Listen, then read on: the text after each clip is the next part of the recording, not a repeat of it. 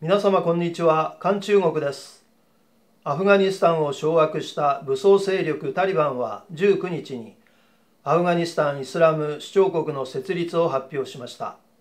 しかしタリバンの5つの言語で反乱の情報を伝える公式サイトが20日に突然消失しました。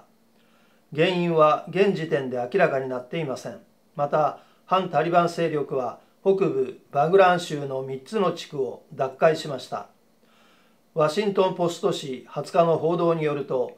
タリバンはパシュトゥー語ウルドゥー語アラビア語英語ダリー語のウェブサイトを運営しているが20日時点でこれら5つのサイトにアクセスできなくなりました。原因不明だといいます。これらのウェブサイトはネットワークインフラおよびウェブサイトのセキュリティ企業であるクラウドフレア社が提供するサービスを利用していました。クラウドフレア社は現時点ではこの件について回答していません。アフガンではタリバンの支配が唯一及んでいない北東部のバンジシール州でタリバンに組織的に抵抗する動きが出ています。ボイス・オブ・アメリカの報道によるとアフガン旧政府が組織した反タリバン勢力は20日に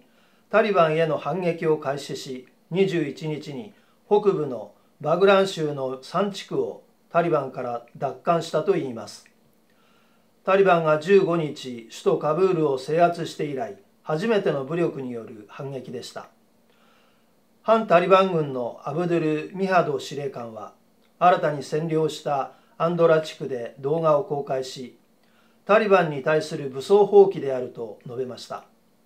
全軍は近くの地域に向かって進んでおり彼はバグラン州のすべてを奪還すると宣言しました。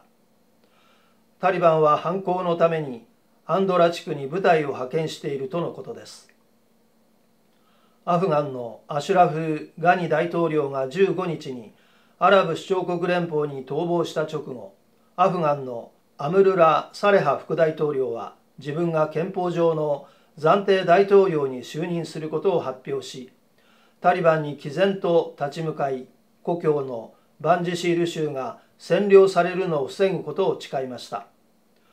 アフガニスタンではタリバンが急速に権力を掌握しましたが